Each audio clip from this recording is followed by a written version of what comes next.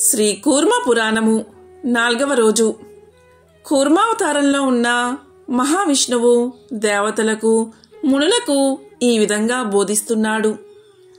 దేవి అవతారం.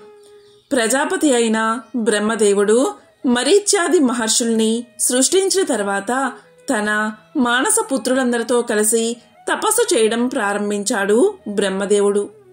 అలా కొంతకాలం గడిచింది. ఒకనాడు తపస్సు చేస్తున్న బ్రహ్మ ముఖం నుంచి ప్రళయకాల అగ్నితో సమానమైన వాడు చేతిలో త్రిశూలాన్ని ధరించినవాడు మూడు నేత్రాలతో ప్రకాశించే ఈశానుడైన మరో రుద్రుడు ఆవిర్భవించాడు. అలా ఆవిర్భవించిన రుద్రుడు తనని తాను స్త్రీ పురుష రూపాలుగా విభజించుకున్నాడు. విభాగించబడిన పురుష రూపాన్ని తిరిగి పదకొండు రూపాలుగా మళ్ళీ విభజించాడు. ఆ పదకొండు మందిని ఏకాదశ రుద్రులు అంటారు. వీరంతా ముల్లోకాలకి ప్రభువులుగా ఆయా దేవ కార్యాలలో నియమించబడ్డారు. రుద్రుడు తన్ను విభజించుకున్న స్త్రీ రూపాన్ని కూడా సాధు అసాధు శాంతం అశాంతమనే లక్షణాలతో నలుపు తెలుపు వర్ణాలతో విభిన్నంగా తిరిగి విభజించాడు. ఆ స్త్రీ రూపాలే శక్తి రూపాలుగా లక్ష్మి గౌరీ సరస్వతి ఇత్యాది నామాలతో లోకంలో విఖ్యాతి పొందాయి. శంకరుడి స్త్రీతత్వం ఏ శరీరాన్ని పొంది ఈ ప్రపంచమంతా వ్యాపించి ఉందో అది ఐశ్వర్యప్రదమైనది. శంకరుడి ద్వారా విభజించబడ్డ మొదటి స్త్రీ తిరిగి తన్ని తాను విభజించుకుని మహాదేవుడి ఆదేశంతో బ్రహ్మదేవుడి దగ్గరికొచ్చింది. అప్పుడు బ్రహ్మ ఆమెతో దేవి నీవు దక్ష ప్రజాపతికి పుత్రికగా జన్మించు అన్నాడు. బ్రహ్మ ఆనతి ప్రకారం ఆమె దక్షుడికి పుత్రికగా జన్మించింది. దక్ష ప్రజాపతి తనకు జన్మించిన పుత్రికకి సతీదేవి అనే పేరు పెట్టాడు. యుక్త వయస్కురాలయ్యాక బ్రహ్మ ఆదేశం ప్రకారం తన కుమార్తెని శంకరుడికిచ్చి వివాహం చేశాడు. ఆ సతీదేవి శంకరుడితో సంసారం చేస్తూ కొంతకాలం తర్వాత బ్రహ్మదేవుడి ఆజ్ఞతో తన్ని తాను విభజించుకుని హిమవంతుడి భార్య మేనకకి కుమార్తెగా జన్మించింది. ఆమె పార్వతీదేవి. హిమవంతుడు పార్వతీదేవిని ఆమె ఇష్ట ప్రకారం పరమేశ్వరుడికిచ్చి వివాహం చేశాడు. సకల దేవతల మేలు కోసమే హిమవంతుడు ఆ విధంగా తన కుమార్తెని శంకరుడికి ఇచ్చాడు. అలా శంకరుణ్ణి పతిగా పొందిన పార్వతి ఆయన శరీరంలో సగభాగాన్ని శాశ్వతంగా పొంది అర్ధనారీశ్వరిగా విఖ్యాతి చెందింది. దేవీ మహత్యం పూర్వం కూర్మ రూపాన్ని ధరించిన శ్రీహరిని దేవతలందరూ దేవి మహత్యాన్ని వైభవాన్ని వర్ణించమని కోరగా ఆయన వారందరికీ ఈ విధంగా దేవీ వైభవాన్ని వివరించడం చెప్పాడు. దేవీ తత్వానికి సంబంధించి విశేషాలు పూర్వం బ్రహ్మదేవుడు మేరు పర్వతం మీద కొందరికి బోధించాడు. ఈ విజ్ఞానం రహస్యమైంది. ఈ దేవీతత్వం సాంఖ్యయోగులకి ముఖ్యమైన సాంఖ్యతత్వం లాంటిది. అది శ్రేష్టమైన బ్రహ్మ విజ్ఞానం. సంసారం అనే సముద్రంలో మునిగిపోయే నావని కాపాడే సాధనం. పరమేశ్వర సంబంధమైన ఏ శక్తి అయితే ఉన్నదో అది జ్ఞాన రూపమైనది ఎంతో అనురాగం కలిగింది. ఆకాశం అనే సంజ్ఞ కలిగింది. ఆమె హైమావతి అని పేర్కొనబడింది. ఈ హైమావతీదేవి శివస్వరూపిణి అంతటా వ్యాపించింది. నాశనమన్నదే లేనిది. త్రిగుణాలకి అతీతమైనది. ఏక అనేక రూపాలు ధరించేది. ఎన్నో కోరికలు కలిగింది. జ్ఞాన స్వరూపిణి స్వభావ సిద్ధమైనది. సూర్యుడి కాంతిలా స్వచ్ఛమైనది. సాటి లేనిది. ప్రభావవంతమైనది. ఒక్కటిగా ఉండే మహేశ్వర శక్తి ఉపాధి భేదాల వల్ల ఎన్నో రూపాలను ధరించి పరమేశ్వరుడి సన్నిధిలోని పర అపర అనే రూపాలతో క్రీడిస్తూ ఉంటుంది. ఈ మహేశ్వర శక్తి అన్నిటినీ చేయిస్తుంది. ఈ ప్రపంచమంతా ఆమె చేతే నిర్మించబడింది.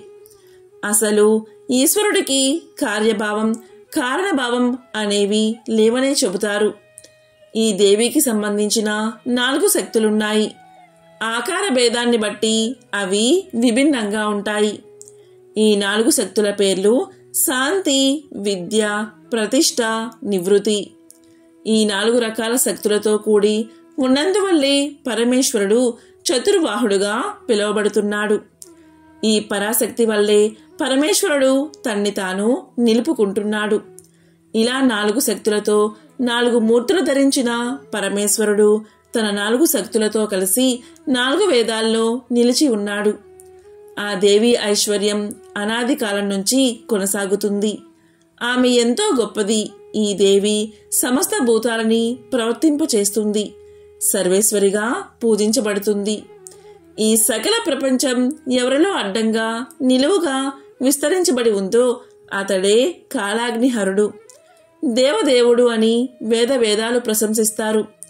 కాలం అనేది భూతాల్ని సృష్టిస్తుంది. అదే కాలం ప్రజల్ని సంహరిస్తుంది కూడా. లోకంలో అన్ని కాలానికి అధీనమై ఉంటాయి కానీ కాలం దేనికి అధీనమై ఉండదు. పరమపురుషుడి శక్తి లోకంలో మాయ అనే పేరుతో ప్రసిద్ధి చెందింది. ఆ మాయ ఎన్నో ఆకారాలు కలిగింది. అది పురాతనమైనదైన ఈ మాయాశక్తి పరమేశ్వరుడి విశ్వరూపాన్ని ఎప్పుడూ ప్రకాశింపచేస్తుంది. పరమేశ్వరుడికున్న మరో మూడు శక్తులు ఎంతో ముఖ్యమైనవి. అవి జ్ఞానశక్తి క్రియాశక్తి ప్రాణశక్తి. ఈ శక్తులన్నీ మాయ ద్వారా కల్పించబడ్డాయి. ఆ మాయకి ఆది అంతం రెండూ లేవు. మాయా స్వరూపం మాయ అనేది సమస్త శక్తుల స్వరూపం. దాన్ని నివారించడానికి ఎవరికీ సాధ్యం కాదు. అది నాశనం లేనిది.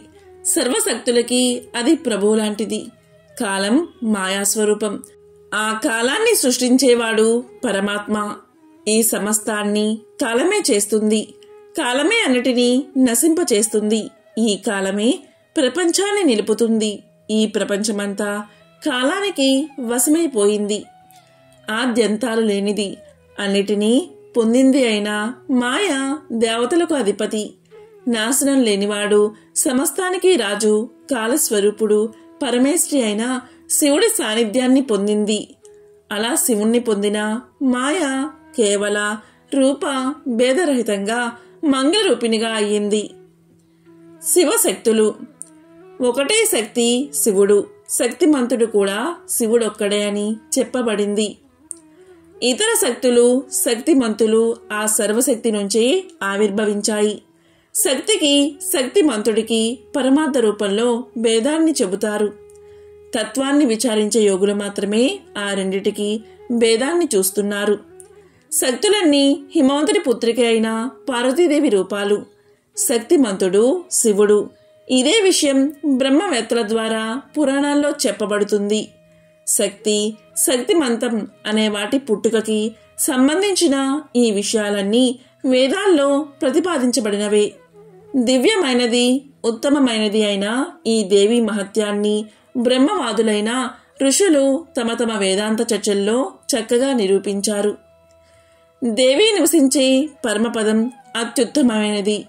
దాన్ని కేవలం సర్వోన్నతమైన యోగులు మాత్రమే దర్శించగలరు.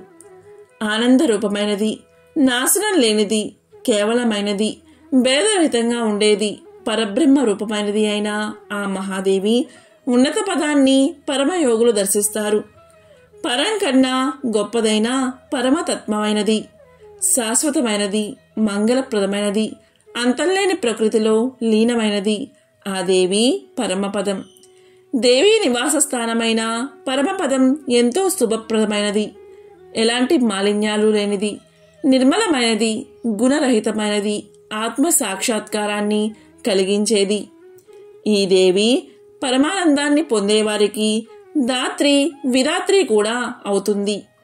దేవి ఈశ్వర సంబంధమైనది కనుక సంసార తాపాల్ని కూడా నశింపచేస్తుంది. కనుక మోక్షం పొందాలి అనుకునేవారు పరమేశ్వరుడి ప్రాణపత్ని సర్వ ప్రాణులకి ఆప్తురాలు శివస్వరూపిణి అయిన పార్వతీదేవిని ఆశ్రయించాలి. శ్రీ మహాకూర్మ పురాణం నాలుగవ రోజు పారాయణం సంపూర్ణం.